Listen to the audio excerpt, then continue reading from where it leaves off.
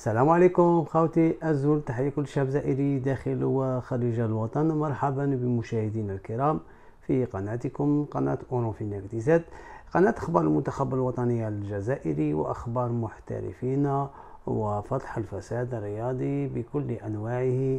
ولسنا تابعين لأي طرف. خاوتي خواتاتي ما تبارطاجوا les vidéos تاعنا ودونا un petit like خاوتي باش تفاعلوا إن شاء الله يزيد في القناة تاعكم بإذن الله. خاوتي الحلقة تاع اليوم إن شاء الله نتكلموا على الماركاتو الصيفي على انتقالات لاعبين المحترفين حسب مواقع عدة مواقع عالمية خاصة فوت ماركاتو. كما شفتوا في العنوان المحترفون الجزائريين يلهبون سوق الانتقالات في أوروبا. ça fait plaisir les joueurs تاعنا اللاعبين تاعنا راهم trop demandés في هذا الماركاتو الصيفي. كاين انتقالات كاين des demandes كاين des contacts. هذه صافي حاجة مليحة فائدة للمنتخب الوطني الجزائري.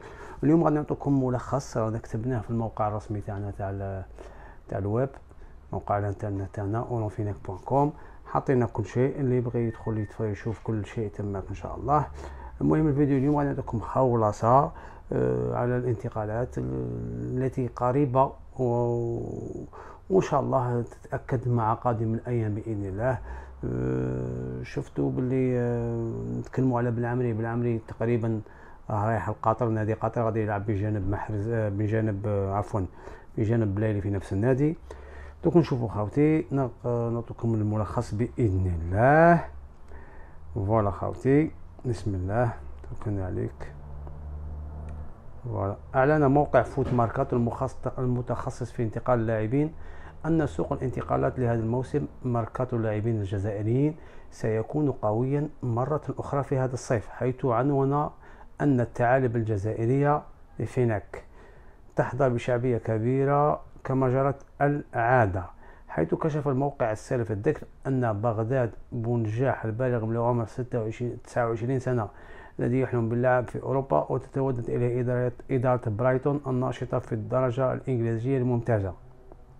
وأضاف الموقع أن عيسى ماندي البالغ من عمر 29 سنة غادر نادي بيتيس الأندلسي الذي انتقل إليه منذ خمسة سنوات وشرف عقده وضع ووضع حقيبه في نادي فيلاريال كما لم يخفي الموقع حدوث مفاجأة مدوية بعدم انتقال ماندي إلى الغواصات الصفراء. وتوقيعه في نادي كبير آخر. ممكن ي... parce que مازال ما سينيا في فيلاريال.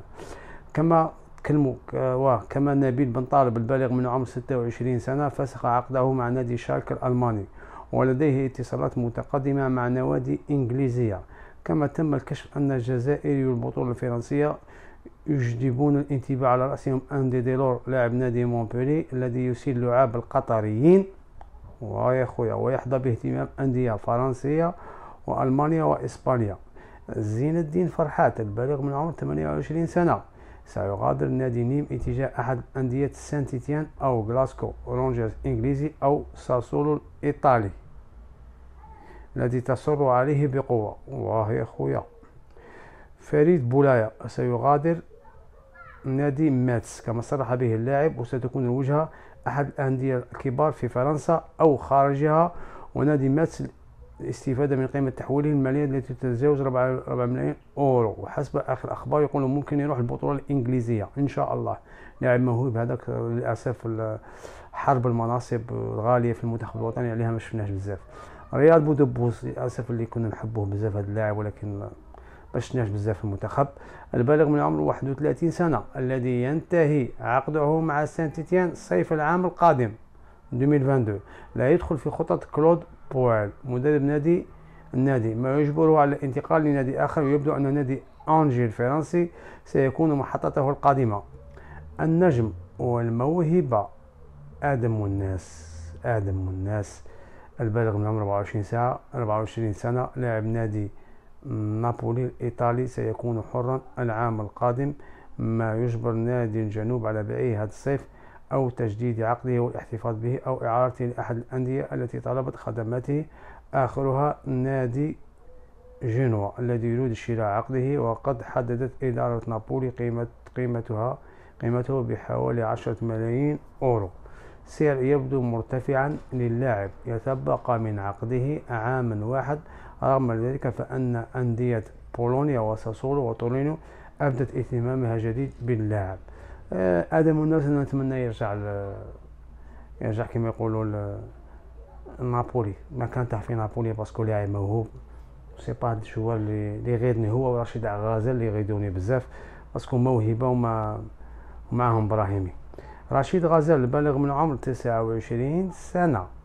نجم نادي بيشيكتاس التركي الذي يلعب له على شكل إعارة من نادي ليستر سيتي الإنجليزي يسيل لعاب الأندية الفرنسية بما أن اللاعب رفض الخليج كما أن اللاعب متم لاعب متمسك بنادي بيشيكتاس ولديه اتصالات جدية من أندية فنرباخشة وغلطة سراي التركيين فنرباتشي غزال يستاهل يستاهل ان شاء الله يشتروا العقد تاعو يبقى في الترك parce que الترك خرجت عليه ال doublé العام اللي فات وفيورنتينا الايطالي وموناكو وليون الفرنسيين سفيان فيغولي بالغ من عمر 31 سنة يبدو أن مسيرته في قلعة غلطة سراي قد انتهت وعليه تخفيض راتبه المرتفع 4 ملايين أورو سنويا إن أراد الانضمام إلى أحد الأندية المتوسطة في أوروبا أو ستكون الأندية الخارجية محطته القادمة oui parce que عنده problème تاع salaire voilà خاوتي راكم شفتوا عطيناكم ملخص على اللاعبين المحترفين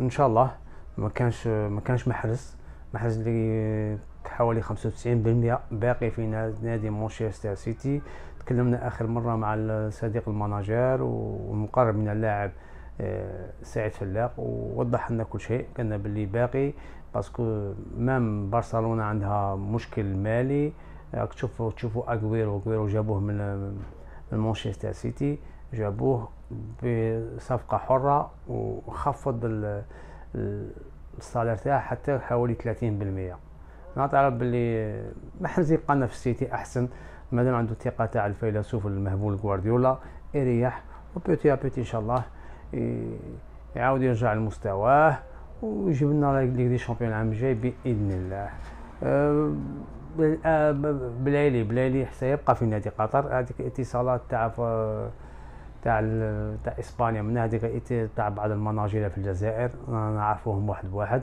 يبغوا يديروا ال buzz بلا فائده ولكن نظن أن بلايلي سيبقى في نادي قطر لأنه ال salaire اللي يديه في قطر.